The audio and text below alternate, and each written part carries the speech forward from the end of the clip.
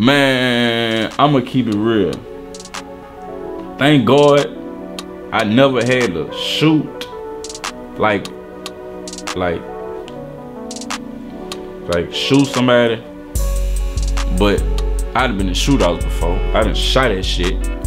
You know what I'm saying? Like like shit like that. And hey, somebody, you know, but to survive, like my early days, and I had cars shot up. My Monte Carlo got shot up 17 times. First time I got shot up eight times. Second time, nigga hit that bitch nine times. So it was like, man, I had that happen. I got a fragment in my leg that can't come out. I hit in the back with a 22 before.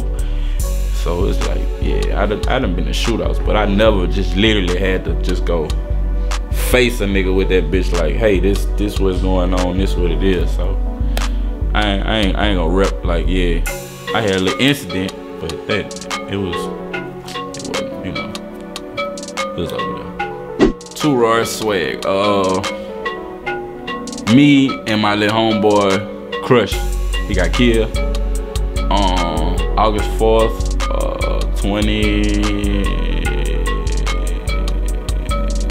13, 14, one, one of the years, he got killed, yeah. I spoke about him on my Smile song, but our dream was to always, you know, get Ferraris.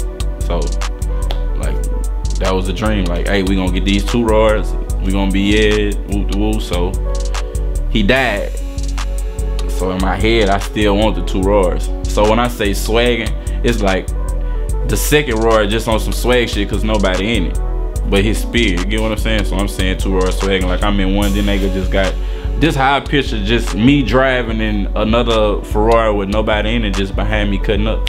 That's how I see it. So that's like really my definition. It's just like me keeping a promise to him. Like I'm gonna still capture that. I'm still get them two Roars for us. You know what I'm saying? That made that my little boy made a name too, two Roar.